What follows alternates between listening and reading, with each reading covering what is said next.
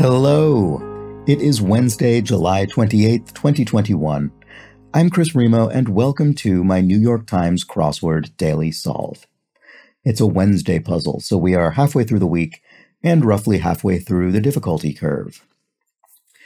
I always find Wednesday puzzles to be satisfying puzzles. There's something to sink your teeth into there, but they are not they're not brutal. Um, always a good it's a good midweek puzzle, exactly as intended. This one's by Alex Rosen and Brad Wilber. And before we get into it, I wanted to very quickly revisit one clue from yesterday because it was something that I really should have uh, should have remembered and didn't. Um, as Nils Worth pointed out in the comments yesterday, the Swiss cheese with that is famous for its holes is, of course, Emmentaler cheese, or in French, it would be Emmental. And uh, of course, that is what we mean when many of us simply refer to Swiss cheese. We mean Emmentaler cheese with the holes. That's sort of um, semi-hard, nutty, pale yellow cheese. That's what that is. So sorry about that. Um, and I think let's just get right on to the Wednesday puzzle. Why not? Uh, ready to get started? Okay. And we can already see that this puzzle by Alex Rosen and Brad Wilber has some kind of theme going on because it has these uh, series of these. It's interesting these sort of linear series of circles arranged in one uh, horizontal, two horizontal rows going across the 17 and, and six, starting from the 17 and 61 across clues, and then two vertical orientations as well, sort of mirroring them almost. So who knows what that is going to be, but let's get going. So one across, we've got buds that are very close. This could be buds as in pals, friends. Um, it could be um, buds as in flowers, flower buds, plants. Now, if it is, it do, if it does mean friends, we could infer from the uh, the sort of slang term bud as opposed to buddy, which I mean, I guess that in itself is slang, but the abbreviated form of the word, that this could itself be a contraction or an acronym. Uh, and the reason I say acronym is because maybe it's BFFs for best friends forever. Let's look at the crosses.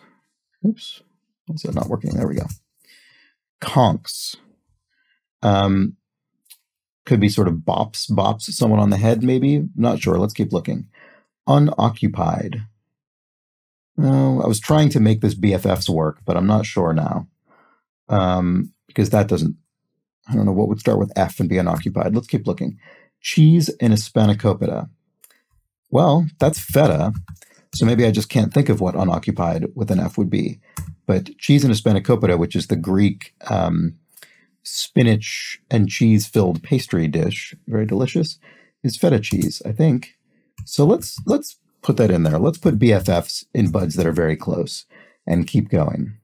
So booze hounds. Could this be souses? Is that? I don't know. I'm not sure if that's if I'm thinking of the right thing there. Cookie that has been deemed kosher since 1997. Well, if that is, if this does start with an SO, then this would certainly look like Oreo. And then we've got conks, does look like bops, which is what I said earlier. Oh, and of course, if something is unoccupied, unoccupied, it is free. Yes, yes, yes. So, so this probably is Souse's. And then here we have Porky's significant other. This is probably Porky Pig from cartoons. And I have a sort of long dormant memory that this might be Petunia Pig. Let's go out on a limb and put that in there and see. So make wise through, you can see I'm still resistant to this Souses because I'm, I'm not completely confident. Um, to make wise through experience. Ah, to season. Yes, as in a seasoned pro, a seasoned veteran, that sort of thing. Uh, let's just go ahead and put that in. noted colonial pamphleteer. That would be, this is referring to the colony established on the continent of North America by the British. And so this would be uh, Paine, Tom Paine. Senora Peron, this is referring to uh, Eva or Ava Perón. Which is it, Eva or Ava? For those who think young, sloganeer once. I'm not sure, so I'm going to leave that first vowel embarrassingly bare for the time being. No, free. Sorry. Thinking of a different synonym of unoccupied. Uh, walled city of Spain. Um, can't bring it to mind. Let's look at the crosses here. Small hard seed. Could it be a pip? A moccasin. Well, a moccasin is a shoe or a slipper. Neither of those fits. But it's also an animal, isn't it? A water moccasin. It's not just a shoe or a slipper. Let's keep looking. False friend in Shakespeare. This is probably Iago. Uh, for those who think young sloganeer once. So I don't I don't think I'm familiar with the slogan, but when I look at the crosses here, it certainly looks like Pepsi. And I could imagine a Stoda having that sort of slogan for some reason. Drainage collector. Uh, I feel this though could this could be a number of types of drains and collectors. So let's keep going for the time being. Sports event in which athletes try to avoid being touched. Um, so this is probably fencing. I think in fencing, um, a successful hit strike on the the opponent is called a touch. I think, and so I think what we're looking for is here is epee, which is also the term that you could use for the, the sword itself. Let's check the crosses. Like times that are the most expensive. Could it be near? In other words, a time that's coming up, if you're buying a ticket or something, is going to be more expensive? Uh, seems a little shaky. Chicago Exchange in brief. Okay. So the in brief tells us we're looking for an abbreviated form of the answer. And what this is referring to is, I think, not a stock exchange, but I think a commodities exchange. And I think is re- re- referring to the Chicago Mercantile Exchange or the Merc. Somewhat. Um, I mean, the first thing that came to mind is a pittance, but that doesn't really fit. It's not really the same part of speech as somewhat. So I'm not sure. Babe in the Arctic. So here we're looking probably for a youngster in the Arctic, and it would be an animal, presumably. So maybe seal pup. A drainage collector. Ah, okay, here. So sump is in a um what you know when it's what is that? It sort of pumps out the the waste of a drainage. I'm not uh, probably not uh, phrasing that correctly because I'm I'm not incredibly familiar with the the sort of workings of that sort of thing. Like times that are most expensive. Ah, yeah, okay. This is not near. It is peak. Peak times, of course, are more expensive. If you're buying a ticket on public transport or something like that, sometimes peak times are more expensive uh, Gillette razor handle. All right. So this is legitimately, in my opinion, a piece of what I would call crosswordese. In other words, a clue that I would only ever know because it appears in crosswords, and it is the only time in my life I have ever used this knowledge. And I'm pretty sure it is Atra, a Gillette razor brand name that I haven't a clue if it still exists, if it's in use. Maybe it is, maybe it's not, but it is certainly still in use in crossword puzzles. Um, I would say, honestly, once, I mean, at least once every couple months, this comes up. So it's a good one to know. C53 across. Looks like it could be Pollock, a fish, or Jackson Pollock, the artist. Isn't Pollock a fish? Uh, with 21 across, artist known, ah, okay, it is Jackson Pollock. With 21 across, artist known to 39 across pigments back and forth onto canvases. So Jackson Pollock um, was an artist who was very well known for his, I think, what it was called splatter paintings, where he would take a brush with paint and sort of swipe it, and then the pattern, it would create these dramatic splatter patterns on the canvas. So, um, I don't know if we've talked about this before, but when you see this with clue, the clue that contains the with is going to what what that means it's it's a it's at least a two part could be two three four whatever could be it could be several part clue, uh, clue that involves filling answers into several spaces on the grid. But the one that has the width is going to be the first word. So this 53 cross, because it's the one that says with 21 across, it will be the first word, and 21 across will be the second word. And in this case, it will be Jackson Pollock, painter. And I think it's P O L L A C K. Let's see. Somewhat. Oh, okay, I'm just going to skip that for now. Um, and then what? Which was the other? Yes, the 39 across. So I think, as I was saying, I think this would be splatter. Oops, no, I guess not. Oh no, wait. Maybe it's spatter. Maybe it was spatter painting, not splatter. Let's try that. Let's look at the crosses. Daffy Duck, notably. Oh, maybe it's not that because I think this is this is interesting. So we've got this cartoon. We've got this cartoon cross here. Oh, so for one thing, those both deal with illustration because Daffy Duck and Porky Pig are both cartoons, and that could be that could be part of the theme. It could be sort of just a soft allusion to the theme. But also, going back to this Petunia Pig reveals uh, paint spelled backwards in these circles, and that obviously relates directly to Jackson Pollock. And here we can also see paint. So this is an O, not an A. Sorry about that.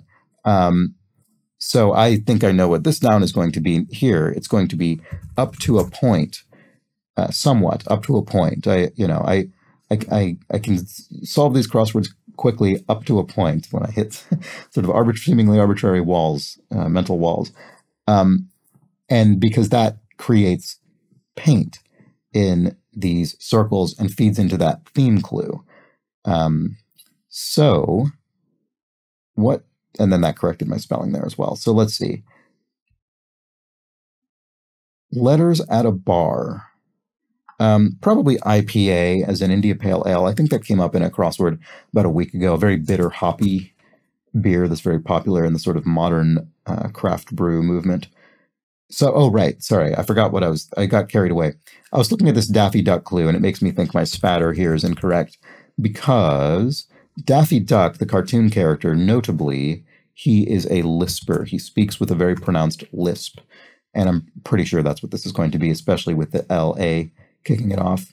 So I don't think my spatter is correct. Known to what pigments back and forth onto canvas? I don't know. It'll probably become quite obvious once we have a couple of crosses. All right, so we can look here. We've got half of this word filled in, and the clue is attempt to block. And so based on what we have, that's clearly going to be oppose. If you oppose something, you're attempting to block it. And if something is terrific, it is super. This theme is turning out to be just super, I think. We'll see. Like an oboe's sound. Oboe, I think, was a was a clue this week, earlier this week, or an answer this, this week, I should say. Not a clue. Today it's a clue. And I think what it's getting at, so an oboe is a wind instrument, and it's a woodwind instrument that uses a, a reed to um, produce its distinctive sound, and that sound, as a result of that reed, is reedy. It's um, it's hard to describe, but it almost sort of sounds. It, it really does sort of sound like air going through wood, which is which is what's happening, I suppose. But it, it has very much that that reedy sound. Um, fragrant component.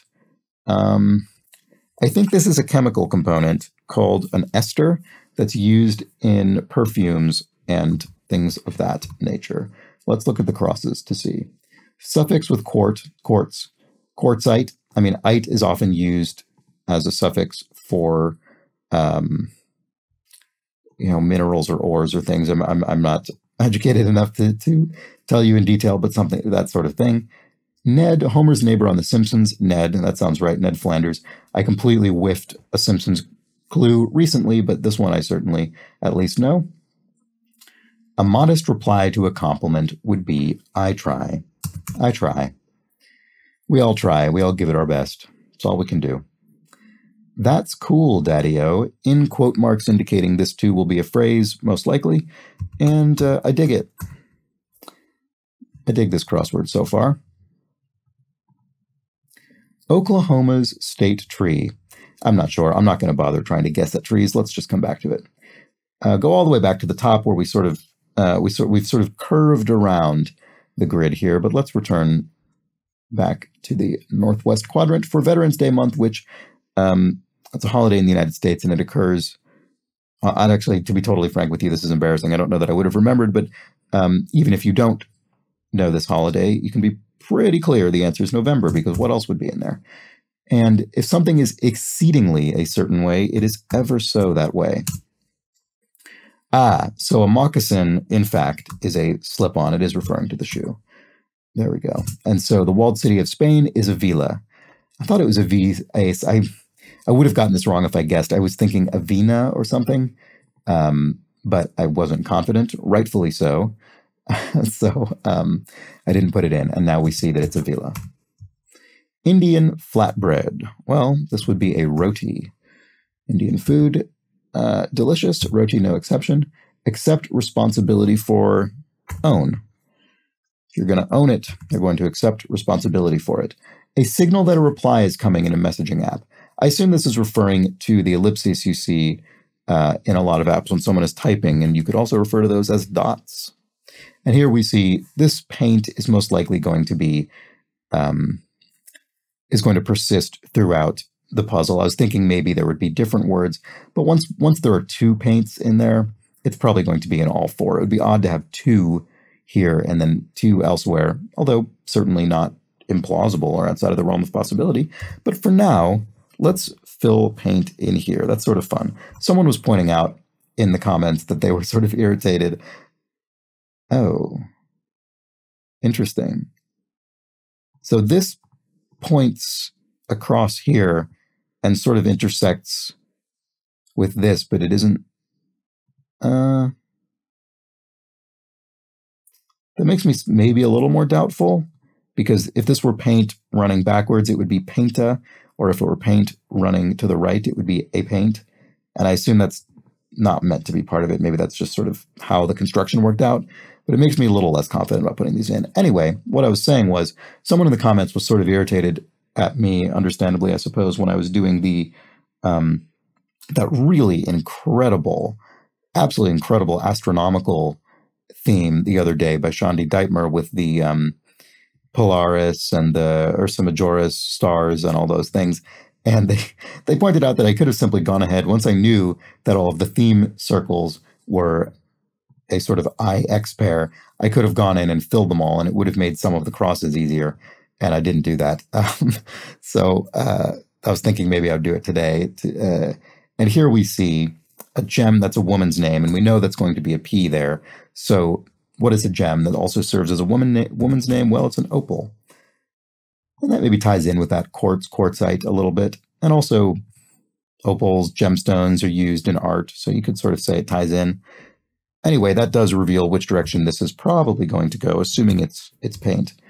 And here we have blank station, Central London Railway Terminal. Well, um, this will be Paddington.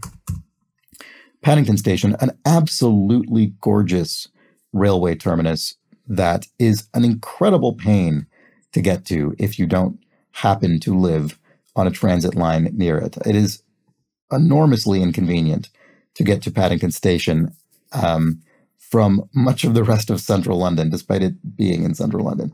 It's gorgeous and in a very nice part of town, but a real pain. Okay. Um, what am I doing? Let's where are we gonna go? Let's go back. So now that we've got the top sort of third or so, maybe top 40% complete, let's just start moving back through the puzzle in order. I don't think we've looked at very many of these down clues. What you need some wiggle room to do. I don't actually know, to be honest. I mean, dress to get dressed, I don't know. Uh, Betelgeuse's constellation is it Orion? Let's let's look at the crosses. Diatribe trigger could be ire, as in if someone sort of raises your ire, they might trigger a diatribe. Where you might find love away from home. So this has a question mark, which indicates there's something sort of cute or punny going on. Love is the sort of oddly phrased way that a score of zero in a tennis game is said, which derives from the French for egg. In other words, looking like a zero, luf. And so this is probably tennis camp, where you might be away from home and find love the score. Original blank, this would be a biblical reference, original sin. what you need some wiggle room to do. Oh, maybe it's disco, as in dance, D- disco dancing, perhaps. Uh, let's look. So here we have Pat, who wrote The Prince of Tides and The Great Santini. Actually, not sure. Source of some rings. Well, it could be onion, onion ring. Um, Pacific food fish. So a fish from the Pacific Ocean, I assume that is used as food. What is that?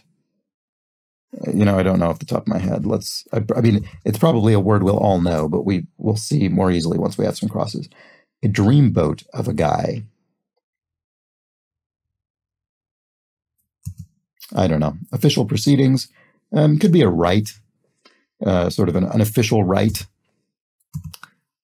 Weep could be sob or cry. Low ranking sailor. Swabby? That's too many letters. What is this? I'm not sure. Hmm. Right, hitting some resistance here for me anyway. Greeting in Rio. Uh, that would be hola, right? Or not? So in Rio they would speak Portuguese, not Spanish. What is the what is hello? Let's look at the cross. Male hedgehog. What is a male hedgehog referred to? Is it, I don't know, a bear? I'm saying that because that might be A, but I'm not sure. B blank, motto for Wikipedia contributors. Be fair? I have no idea what the motto for Wikipedia contributors is.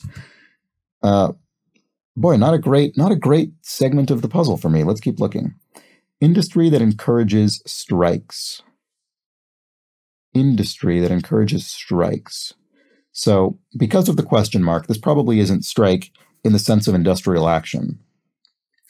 It might be strikes in the sense of um, like mining or sports, three strikes, you're out sort of thing. I don't actually know. Uh, Oklahoma State 3, Melodic Passage. I want to say this is going to start with AR as in Arioso or something like that. Arioso, recycle. Recycle blank, sign on a bin. Why am I, what am I, I am losing it, I feel. Succeed and then some. I don't know if this Arioso is correct. Let's get rid of this.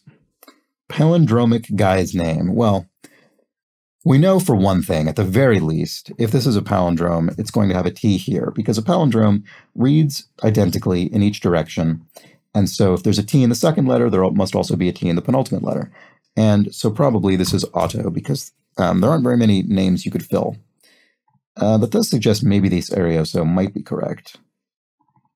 Uh, leaning to the right, abbreviation. So this could arguably have a question mark on it, but it doesn't need to because it is literally true. Um, I think it's referring to italicized text, if text is italic. Ah, recycle blank, recycle only. I'm sorry, that should have been more obvious. In other words, no rubbish here, just recycling, recycle only. That means this probably is Arioso. Uh, to succeed and then some. Why am I not seeing that?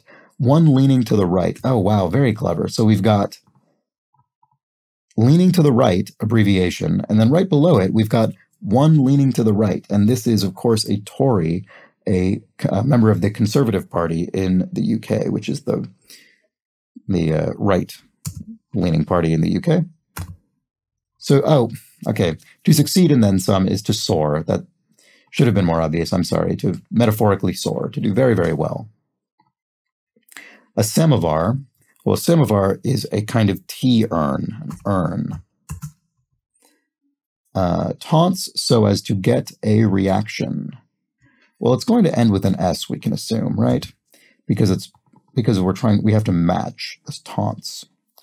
So let's look here. Jetes, e.g. Um, so that refers to a leap in uh, ballet maybe figure skating, but I think it's called something else in figure skating. Would that be an axel in figure skating?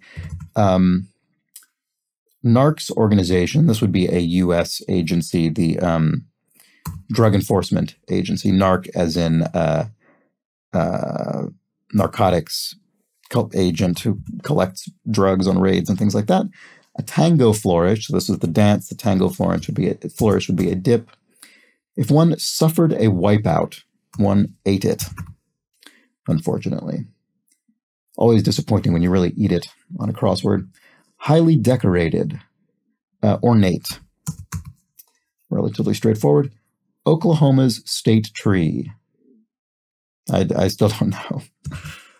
Biology or chemistry, abbreviated, those are each sciences. And because it's an it's or, we know that we're only referring to any one of them. So it's singular. So science, not sciences. A dreamboat of a guy. Ah, okay, I see. So this is um, referring back to myth, and a dreamboat of a guy could be referred to as an Adonis. Official proceedings. Ah, so it's not. It wasn't a right. Um, this could be acts. In other words, official decrees or dicta, official acts pronounced. Oh, maybe not. Oh, it could be acta, plural. Um, could be acta. I was because I was thinking this S doesn't really fit with this SW, but it could be an A here. Um, I still don't know. I want to say it starts with swab, but I'm not sure. So let's look at the cross. Oh, oh, I see. Okay. Make art like Jackson Pollock, as suggested by this puzzle circle circled letters. So maybe it's dribble. In other words, not spattering, but dribbling the paint on the canvas, which um, I think he did also do that splatter spatter thing, but but uh, this also sounds completely correct. Greeting in Rio, so maybe it is Ola, but let's come back to it. Weep, so okay, so it is cry. Is the most straightforward thing. Weep, cry. Pat, who wrote The Prince of Tides and The Great Santini, looks like Conroy, doesn't it? But let's look at the cross. Pacific food fish uh, rock fin or something. What is this? What is I can't bring it to mind. Taunts so as to get a reaction. Um, so, oh, I see. So it's baits. If you bait somebody, you're sort of asking for trouble. You're trying to get a rise out of them. Oklahoma's state tree. So it ends with bud, which certainly sounds like the name of a plant, but I don't. Red bud, I don't know. B blank motto for Wikipedia contributors. I just, I just don't, I just do not know that answer. so this is sort of dangerous. I'm running into a situation where I'm running out of things that are that are easily coming to mind. Uh, come together. Uh, so it could be join, but let's look at the crosses. Remove from danger informally. That's not join because uh, remove removal from danger informally. Um, I guess this actually I read it as remove incorrectly. It could you could read this as remove from danger or removal from danger if in fact the answer is evac because you could use that as a noun or a verb. Uh, a long ride. This has a question mark, which suggests something is sort of a pun. So let's keep looking. Running shoe brand. I think the running shoe brand is Avia or Avia. That sounds right. Organization for Lieutenant Columbo. You know, I've actually never seen Columbo. seen Peter Falk in other things. Uh, he's in a really great um, Elaine May movie called uh, Mikey and Nicky, I think, uh, where he's just excellent. But I've actually never seen Columbo. But I know he's some kind of detective, so this presumably ends with PD. Is it the Los Angeles Police Department? Is that where Columbo detects? Maybe it is. Uh, so come together. So that looks like gel, G E L L, as in jelly, uh, sort of sets. And a long ride is a limo. So so we see the question mark. It suggests, yeah, I suppose so. It's not really a pun. I guess it is a pun, but it is technically also true that a long ride is a limo. Ah, Pacific food fish. So this looks like rock cod. I mean, cod is definitely a fish. Rock cod sounds like a thing. Conroy sounds like a name. So there we go. We just have this middle section left. Ah, so this Swabi. I thought I said that before. I must have spelled it incorrectly. That does look like it, what it probably is. Um, so this could be redbud. I don't know. Industry that encourages strikes. Oh, oil, as in striking oil, the oil industry. That that's good. That's a nice. That's a nice clue. Um, be blank.